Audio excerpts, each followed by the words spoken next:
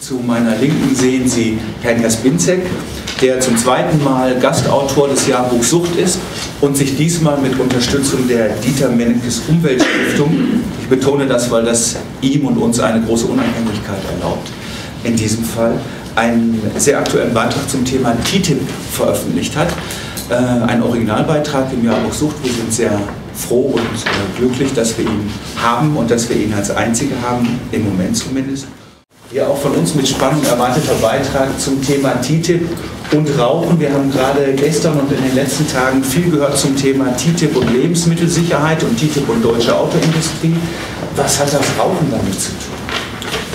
Das habe ich eben jetzt in einem längeren Beitrag äh, im Jahrbuch nacherzählt. Ich habe aber auch nochmal die Dokumente äh, durchgelesen, die gestern publik geworden sind und den aktuellen Verhandlungsstand, also vor der jetzt 13. Verhandlungsrunde dokumentieren. Wir sehen, dass gerade im Agrarbereich große Probleme bestehen, weil die Amerikaner letztlich das Vorsorgeprinzip der EU in Frage stellen und möchten, dass bestimmte Produkte mit unklarem Risikoprofil, Stichwort Genmais oder Hormonfleisch oder Chlorhühnchen, auf dem europäischen Markt zugelassen werden. Wir sehen aber auch, dass über ein Produkt gesprochen wurde, dessen Risikoprofil wir sehr genau kennen, nämlich über alkoholische Getränke. Und da macht sich die EU Sorgen, dass die Herkunftsbezeichnungen von bestimmten Weinanbaugebieten wie Champagne oder Chianti erhalten bleiben nach Inkrafttreten des Freihandelsabkommens. Und die US-Regierung macht sich Sorgen, dass auf Whiskyflaschen keine Haltbarkeitsdaten angebracht werden sollen. Ja, das möchten die nicht. Ähm, erkennbar keine Rolle gespielt bei diesen äh, äh, Verhandlungen haben bisher Gesichtspunkte der Suchtprävention. Und überhaupt keine Rolle gespielt hat eine andere legale Droge, ähm, der Tabak, die also mehr Toten, Todesopfer fordert als äh, jede andere Droge, die wir konsumieren. Ähm, das ist deshalb bemerkenswert, weil Tabak war und ist der größte Stolperstein beim transpazifischen Freihandelsabkommen. Das transpazifische Freihandelsabkommen ist im Oktober letzten Jahres von zwölf Unterzeichnerstaaten ratifiziert worden. Und ähm, äh, es hat hier eine heftige Kontroverse im Vorfeld darum gegeben, wie man mit Tabakprodukten umgeht. Malaysia hat darauf bestanden, dass der Handel mit Tabakprodukten aus diesem Freihandelsabkommen ausgeschlossen wird. Und die Amerikaner beziehen sich jetzt in den Verhandlungen mit den Europäern immer wieder auf das pazifische Abkommen, aber über diese Tabakklausel ist bis heute noch nicht gesprochen worden. Warum hat die malaysische Regierung so viel Nachdruck darauf gelegt, dass Tabakprodukte ausgeschlossen werden?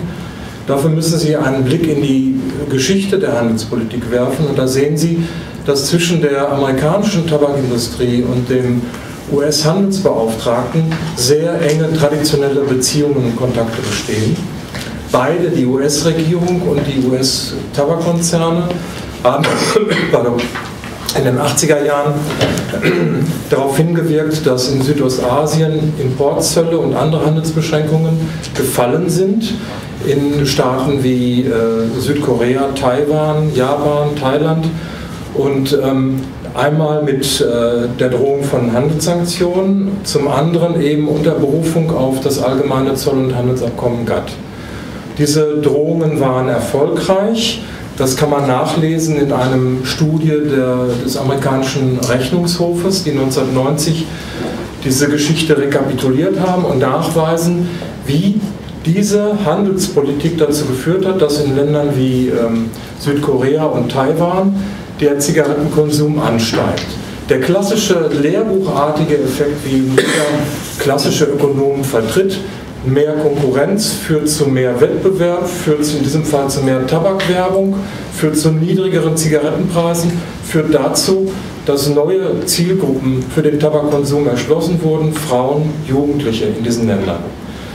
Der Punkt ist hier nur, dass eben mehr Wachstum nicht gleich mehr Wohlstand bedeutet, sondern mehr Tabaktote. Ja?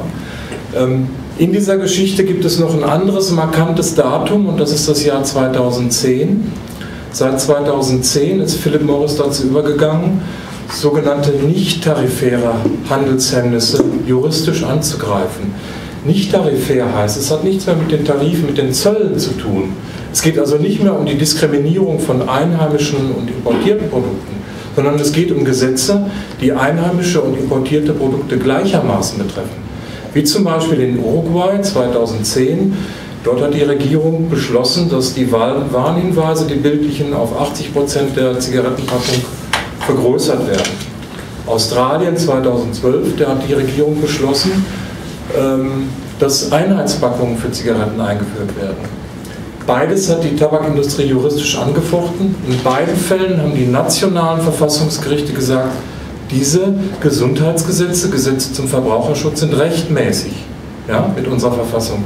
Und nun kommt Philip Morris und greift zum einen auf Regularien der Welthandelsorganisation WTA zu, zum anderen auf bilaterale Handelsabkommen und sagt, wir wollen Schadensersatz haben.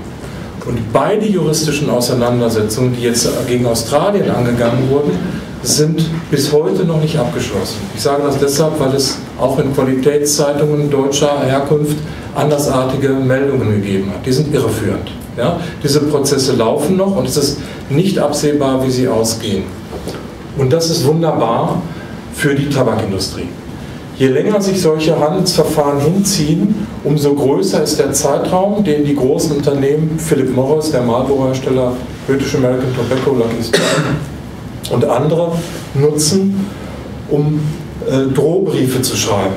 Drohbriefe an andere Regierungen, die auch neue Regelungen zum Verbraucherschutz verabschieden wollen und nun Post bekommen, in der drin steht, wenn ihr das tut, dann müsst ihr mit Schadensersatzklagen rechnen, siehe Australien, siehe Uruguay. Die New York Times hat im letzten Jahr eine Sammlung solcher Drohbriefe publik gemacht in ihrem Online-Archiv. Die, die, Empfänger sind Gesundheitspolitiker von El Salvador über Jamaika, Togo, Moldawien bis Nepal.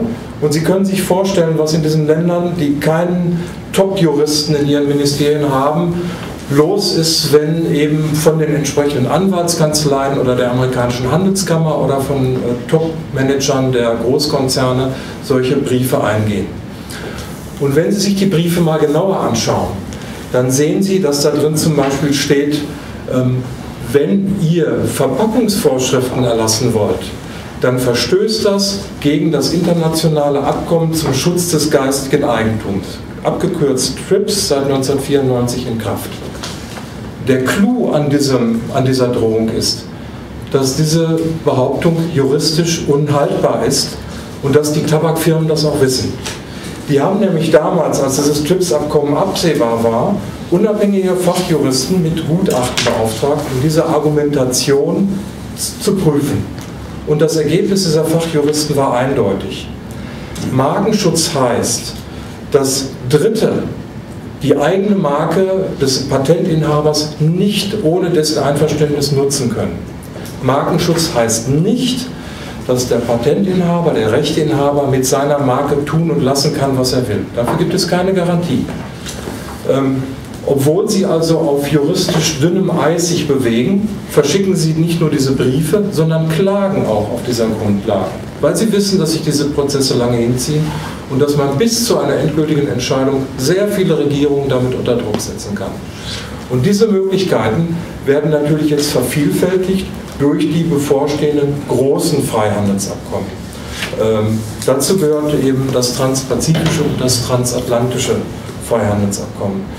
Ähm, Malaysia wollte deshalb Tabakprodukte ganz ausschließen. Die Amerikaner waren dagegen. Man hat sich auf einen Kompromiss geeinigt. Die Unterzeichnerstaaten des Transpazifischen Abkommens können die Option wählen, Tabakprodukte aus den Schiedsgerichtsverfahren auszuschließen. Bei anderen Abkapiteln, zum Beispiel regulatorische Zusammenarbeit, ist die Tabakindustrie noch im Boot.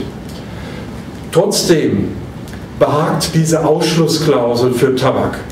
Äh, insbesondere den notorisch bekannten äh, US-Senatoren aus den Tabakanbaugebieten in den Südstaaten der USA nicht. Es könnte sein, dass an diesem Thema äh, das ganze transpazifische Abkommen scheitert, weil die Mehrheitsverhältnisse im Kongress und im Senat, die das noch äh, ratifizieren müssen, sehr, sehr fragil sind. Ja? Gemessen an der Bedeutung, die Tabak jetzt bei diesem Modell für TTIP hat, ist es erstaunlich, dass bei TTIP bisher noch gar nicht drüber gesprochen wurde. Erstaunlich, solange man sich nicht mit den Lobbyprozessen in Brüssel beschäftigt. Denn dann sieht man, dass die Tabaklobbyisten von Japan Tobacco, British American Tobacco, Philip Morris sich bei der EU-Kommission die Klinke in die Hand geben. Und sie möchten auf jeden Fall verhindern, dass es in äh, dem europäischen äh, Freihandelsabkommen, egal welcher Provenienz, keine Ausschlussklausel für Tabakprodukte gibt. Und unter der Hand hat die Generaldirektion Wirtschaft den Konzernen auch zugebilligt, nein, nein, das wollen wir auch nicht. Warum möchte die EU-Kommission das nicht? Das herauszufinden, da kommt man an die Grenze des journalistisch Machbaren. Man kann, wie meine Kollegen vom Corporate Europe Observatory, über Informationsfreiheitsgesetz klagen und nach langem, langem äh, Prozedere mit Unterstützung der Ombudsfrau in Brüssel dann Dokumente wie diese hier bekommen. Das sind Dokumente, die zum Beispiel die äh, Besprechungen zwischen British American Tobacco und der EU-Kommission belegen. Und hier können Sie dann nachlesen, was dabei an Informationen für die Öffentlichkeit zur Verfügung gestellt wurde. Ja? Das sind also sehr viele Seiten Text und ich kann Ihnen jetzt schon sagen, sie sind fast alle schwarz, bis auf die Schlussseite, aus der hervorgeht, dass man sich doch gegenseitig dazu gratuliert, wie wunderbar harmonisch die Gespräche die verlaufen sind. Dass die Kekse lecker waren. Herr Jaspinzig, die bayerische Verbraucherschutzministerin hat gestern gefordert zum Thema TTIP, Verbraucherschutz ist nicht verhandelbar. Was fordern Sie? Also ich fordere, dass äh, sich Journalisten mit so etwas wie diesen Gesundheitsklauseln beschäftigen. Weil die sind nicht nur in bilateralen Abkommen drin, auch im GATT, auch in den Entwürfen für TTIP. Jetzt im Bereich ähm, Agrar findet man eine Klausel, der Freihandel soll den Schutz der Bevölkerungsgesundheit nicht beeinträchtigen.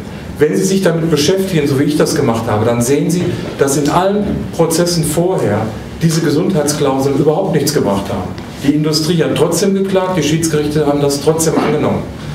Deshalb fordere ich, wie die malaysische Regierung, dass man Tabak komplett aus den Freihandelsabkommen rausnimmt. Eine Ausschlussklausel, so wie man das für andere Produktgruppen auch gemacht hat, zum Beispiel Waffen. Ja? Ähm, die nächste Forderung die man aufgrund der Erfahrung mit den Tabakkonzernen aufstellen muss, aus meiner Ansicht nach. Das ist die Forderung, die auch der Deutsche Richterbund aufgestellt hat, dass wir nämlich komplett auf diese Paralleljustiz innerhalb der Freihandelsabkommen verzichten. Ähm, da können wir auch gerne gleich nochmal darauf eingehen, warum und wieso der Richterbund das fordert. Ähm, man kann viel für den Freihandel tun, indem man zum Beispiel die Blinkerfarben anpasst, oder Zölle abbaut, aber dafür braucht man nicht diese Riesenabkommen, zu denen Parlamentarier dann nur noch komplett Ja oder komplett Nein sagen können. Und äh, für die Suchtprävention ist die Gefahr, die mit diesen Abkommen verbunden ist, einfach unkalkulierbar oder fast schon kalkulierbar zu groß. Ja? Denn das, was die Tabakindustrie vorexerziert hat, das haben Branchen wie die Alkoholindustrie in der Geschichte der Präventionspolitik immer nachgeahmt. Darum die dringende Bitte, Forderung, Konsequenz, Nein zu diesen äh, Parallelgerichten, ob die nun Schiedsgerichte heißen oder Handelsgerichtshof, macht hier keinerlei Unterschied. Gut, vielen Dank und das war's von uns in freier Rede. Kommen wir zu Ihren Nachfragen. Bitte.